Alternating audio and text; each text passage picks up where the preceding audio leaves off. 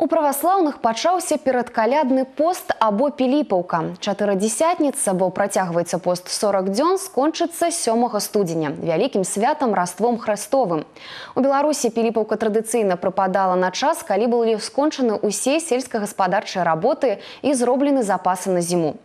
Вернікі ў гэты час робяць акцэнт на належную падрыхтоўку да раства, удасканаленне і самаабмежаванне. Што тычыцца назвы посту піліпаўскі, яна паходзіць ад апостала Піліпа, памяць якога царква ушаноўвае 27 лістапада і на наступны дзень уласна і пачынаецца час устрымання. Калядны пост не лічыцца строгім, у гэты час не ўжываецца мясная і малочная ежа, яйкі, у выхадныя і святочныя дні дазваляецца рыба. Паслабленне толькі для хворых людзей, дзяцей і цяжарных жанчын. З другога па 6 студзеня абмежаванні становяцца больш строгімі, апошні дзень посту куцця.